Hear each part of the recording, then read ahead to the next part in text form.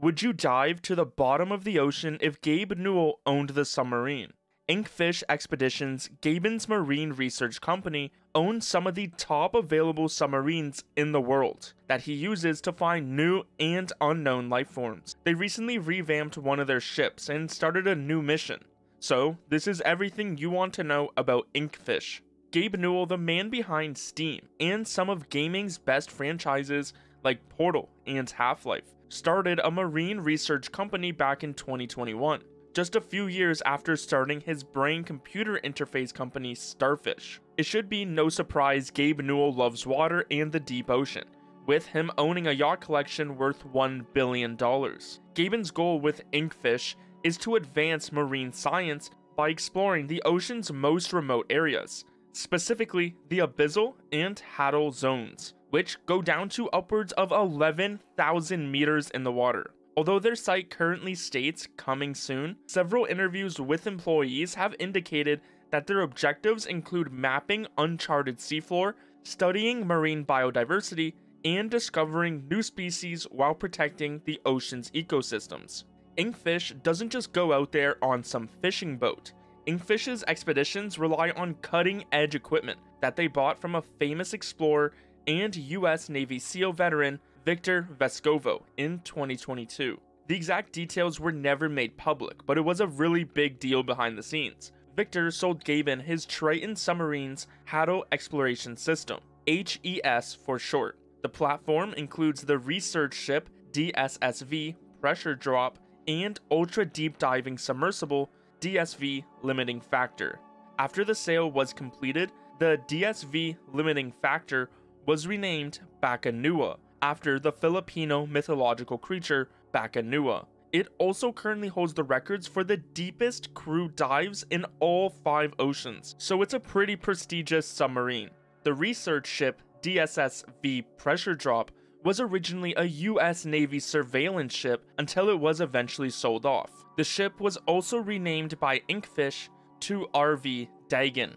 So these aren't your everyday toys that are made in a backyard and run off a controller. The Bakunawa sub is one of only two vehicles certified for repeated full ocean depth dives.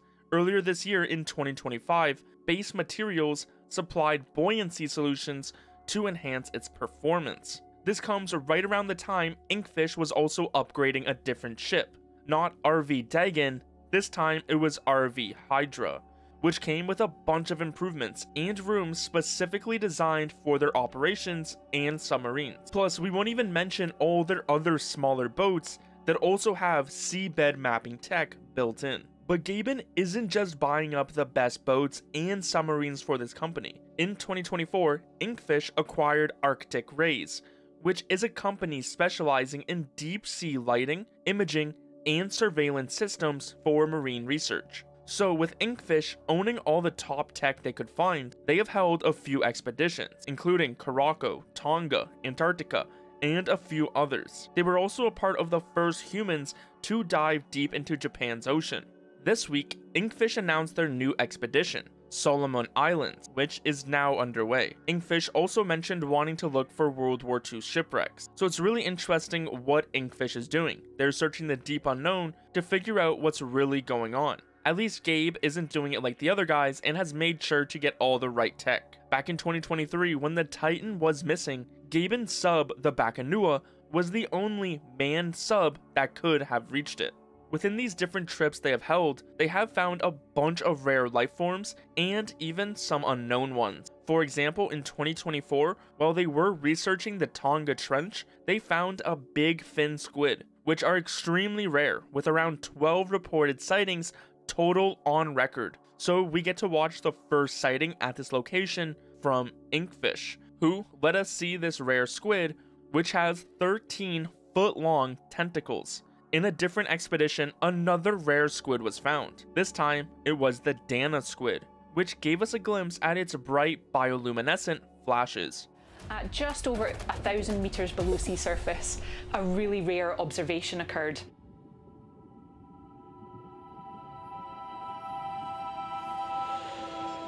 a deep sea hoop squid called Taningia danae. Interacted with the lander, it actually latched on to the camera, which is just unbelievable. It's such a rare observation that when I came across it, I actually managed to keep it a secret from the rest of the crew. Inkfish also pointed out a few other rare squids they found in Antarctica, like an invisible body squid.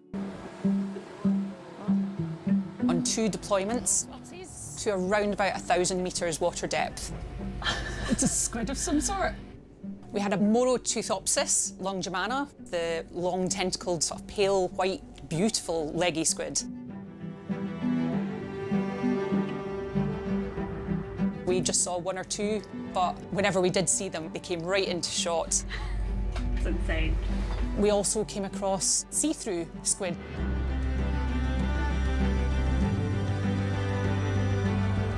You could see all of its intestines and all of the detail round about its eye. I mean, that was beautiful. But I think the biggest surprise has been the Alluroteuthis antarcticus.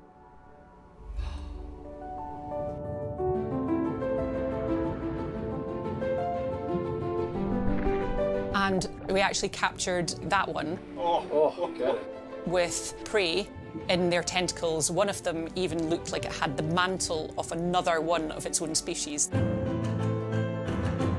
What has been special about these is that we had been told that it was quite a rare sighting.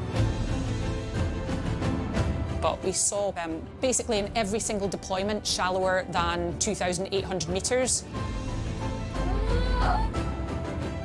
And then the cherry on the cake Bucker, this is Dino. I am pumping in. on some of the submersible dives. Did you see that?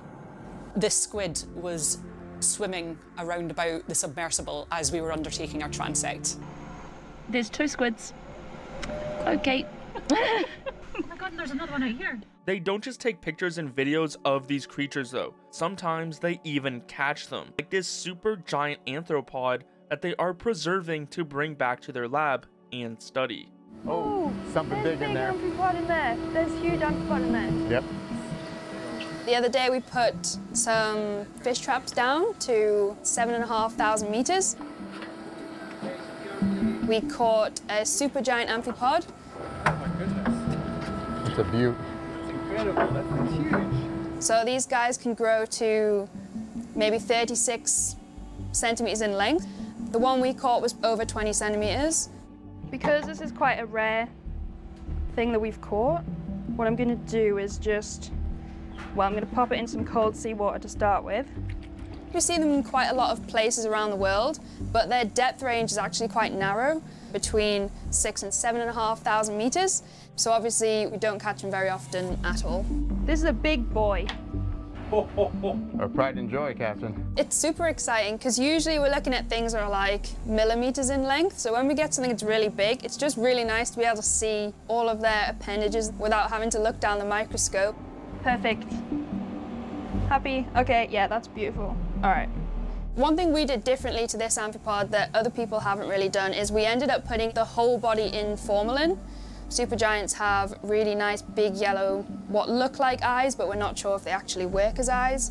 So by putting it in formalin, we can, in the future, hopefully investigate whether or not they can see, especially at depths where it's pitch black and there's no light.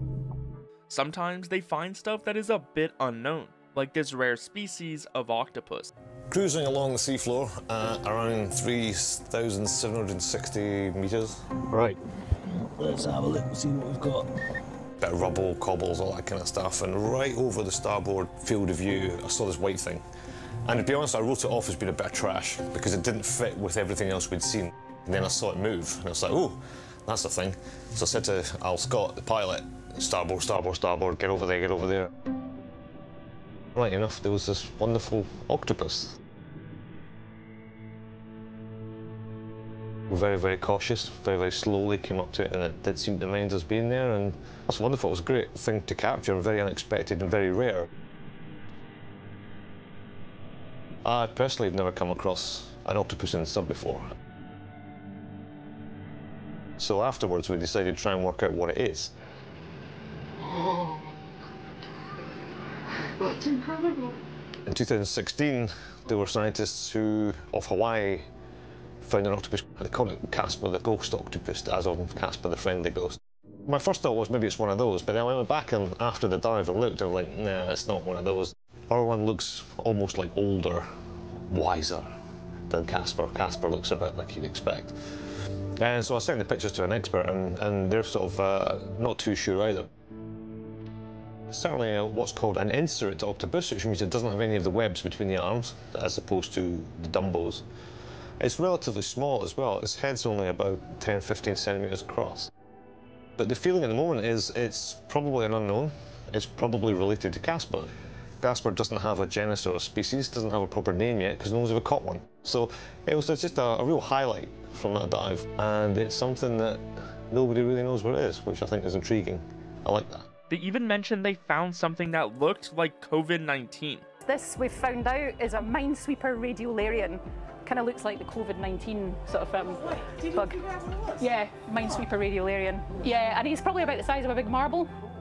Pretty weird, pretty wonderful, but that's just one example of like quite a few sort of little weird and wonderful things, and some of these things we're still trying to figure out what the hell they are. But it wasn't just those. While they were on their Antarctica expedition, they spotted some sleeper sharks, which is said to be the first sleeper sharks filmed in Antarctica's deep water. Some of the more unusual footage that we captured was finding a sleeper shark at 490 metres water depth. That was certainly very unexpected. Yeah, it must be pretty big. Over two metres, I think. Yeah, something around that. In terms of geographic distribution, it's not actually been seen within Antarctic waters. This is the most southerly that this seems to have been found. While they were in Tonga, they found a different sleeper shark, the Pacific sleeper shark, which is estimated to be around 3.6 meters, as we got to see a full close up, including its mouth. This observation occurred to the west of the Tonga Trench. We assumed that it was fairly big, around 3.5 metres long. It was at 1400 metres depth. And due to the lack of observable claspers on the pelvic fins, we've identified it as female. She goes straight for the camera. From this view, we can see completely inside the shark's mouth. Not too long after that, she realises it doesn't taste very good and goes for the bait. It was around 2.5 degrees Celsius, which makes sense as we know that they prefer cooler waters. Thankfully, the wire we put around the bait doesn't seem to get stuck in her mouth for very long before she swims away, giving us a full view of her size.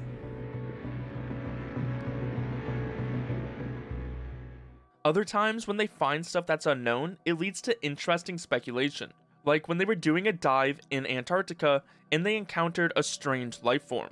At the moment, Inkfish hasn't given a follow up on if they figured out exactly what this unknown life form is, as their site just says coming soon. But it does give us a glimpse into some of the things that they surface, are finding. Surface, Baku, life support good. There's so much stuff in the water here, eh? Just the particles and stuff. Yeah, falling from the crazy amount of life on the surface, eh? Yes. One thing that was particularly prominent in both dives was the drop stones, these big black, angular, beautifully eroded stones that have fallen from glaciers and icebergs as, as they've floated out to sea.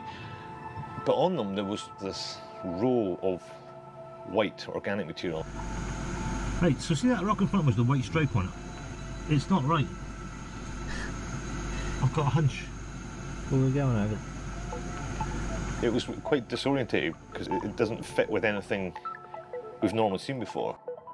You see these shapes coming out of the horizon and sometimes in a really peculiar way.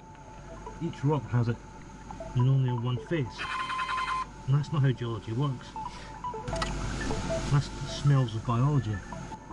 Are these white stripes a weird sponge? For a while I think it was some kind of sponge, but then there's other examples where we see these really peculiar shapes and patterns that are on these things. This is not part of the rock, this is something which is attached to the rock, so one of the big things we want to look into is what these are. And that's a big one on that one there. There's many, many examples of these which we're going to have to go and take to someone who has maybe had experience with these before. Sometimes, though, they find nothing.